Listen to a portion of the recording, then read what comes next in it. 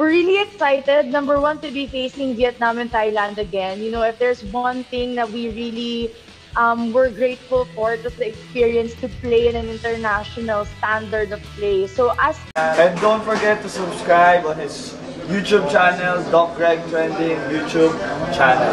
Subscribe! Mabuhay, kabayan.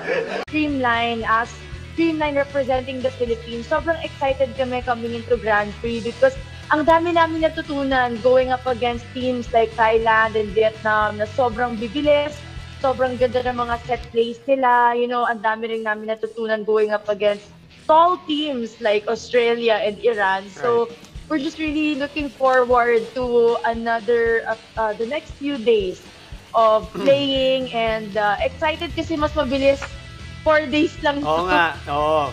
Four teams, four days. Okay,